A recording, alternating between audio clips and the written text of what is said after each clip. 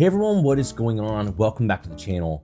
My name is Brian. It has been a little bit since we've done some Four Roses specific content, and I figured we'd bust it back out today. I was supposed to do this video as soon as this bottle released, and I didn't get around to it, so I'm sorry, but we are looking at it now. And this happens to be the latest in the hyper aged bottles that Four Roses is putting out.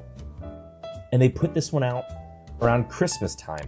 This was the Happy Holidays bottle they released in December, an 18 and a half year OESK. If you have seen the other videos on my channel, or if you haven't, I'll link them up above. We took a look at the Visitor Center 20 year last year. We took a look at an old OBSF, and then we took a, a look at an older OESV, both of those going to either tornado relief or flood relief efforts in Kentucky.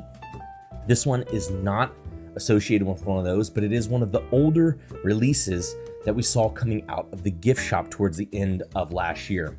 What was amazing about this bottle specifically, uh, a lot of people were speculating when, when we caught wind that this was going to be releasing at the gift shop, uh, what the price of this was going to be in light of some of the other products they had put out. And much to our surprise, this bottle released at the gift shop after tax $90. So when you talk about the $10 per year rule and you see something that's almost 19 years old at $90, you better believe this is a fantastic value bourbon, but is it good on the palate?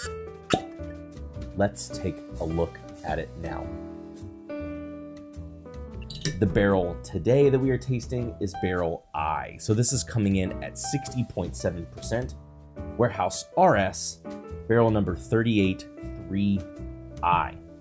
And I've heard a lot of feedback from folks saying that these are all really enjoyable barrels, this particular release, and a lot of speculation going on about whether this is better than the 16 and a half year that we tried, the 20 year that we tried, where it releases. I'm going to say, while this is opening up, I could get used to Four Roses releasing some of these hyper older aged whiskeys. But before we get any further, and while this is opening up, Jump down below. Let me know if you all have tried Four Roses, what your favorite recipe's been. If you haven't tried Four Roses, what recipe of Four Roses are you most looking forward to trying? And while you're at it, when you're down below, give me a thumbs up, subscribe to the channel if you haven't. Help me continue to grow the channel here in 2023. Now this pour is opened up, let's go ahead and take a look at it. You can kind of see the legs there moving on the glass.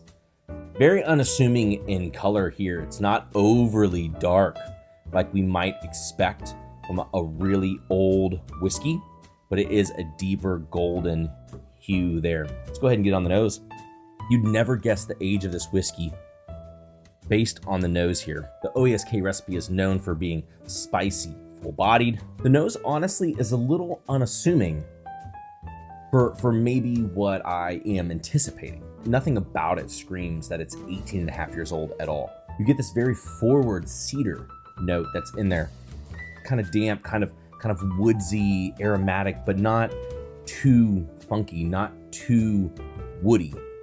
It moves into some apricot, some slightly vanilla raspberry notes, traditional of what we've seen in other Four Roses products, and then not overly banana like some distilleries can be, but it has this kind of freshly baked banana nut bread note kind of continuing on, uh, and it's really kind of dense. It's kind of not exactly sweet, not exactly banana-y, but uh, you, you probably know that kind of freshly baked banana bread pulling straight out from the oven. And that kind of lingers on this nose. A little bit of brown sugar in there as well. But again, nothing on the nose is overly pressing. It's not overly full. If anything, the more it sits, maybe the more that it grows, it has a little bit of toffee with a touch savory element as well. Let's go ahead and dive into the palate and see what we got here.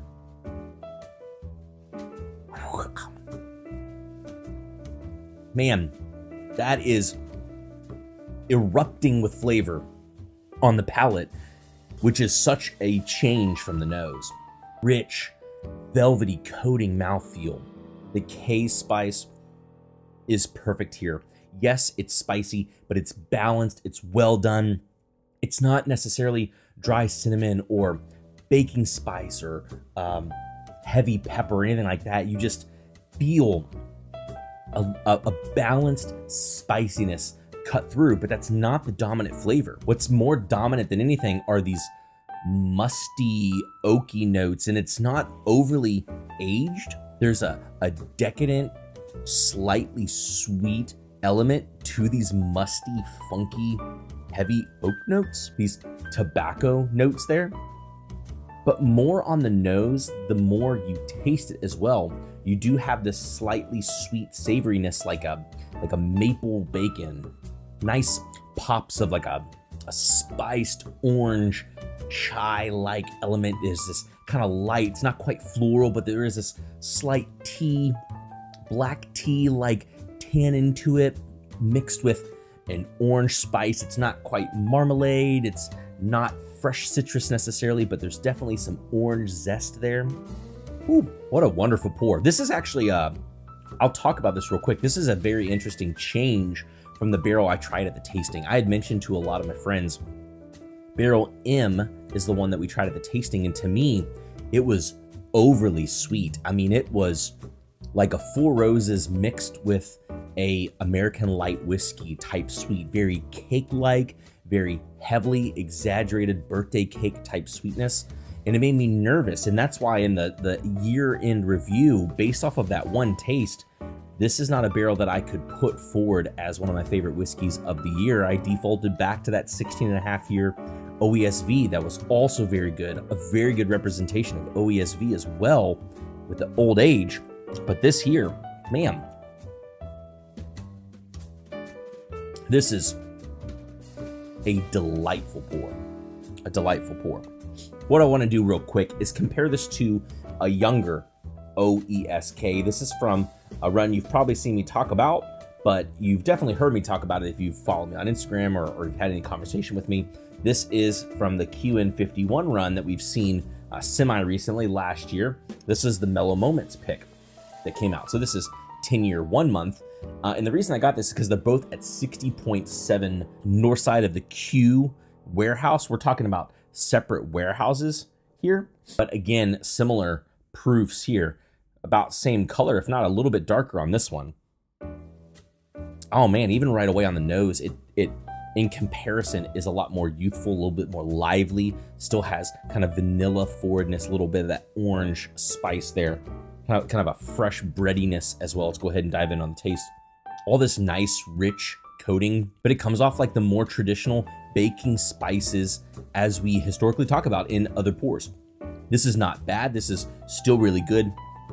Great amount of spice, very rich, viscous body, typical kind of caramel vanilla pocket around red fruits like we notice in, in Four Roses specifically in the E, the lower rise delicious.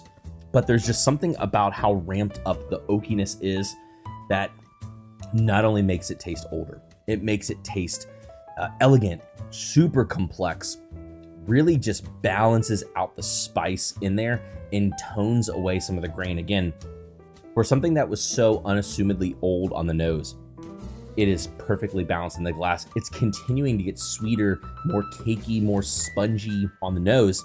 And I'll be curious to see how that continues to come out also on the palate. The best way of summing this up though is this is an excellent older expression coming out of Four Roses. Thanks everybody for tuning in. If you want to hear more Four Roses or any specific Four Roses talks, leave me a comment down below. Let me know what you're interested in hearing. Check out the seventh tier playlist that I have here of other reviews of other Four Roses bottles, things that I've talked about there as well. Maybe you'll find some of that stuff informational. Thanks as always for tuning in to the channel, guys. Until next time, see you all later.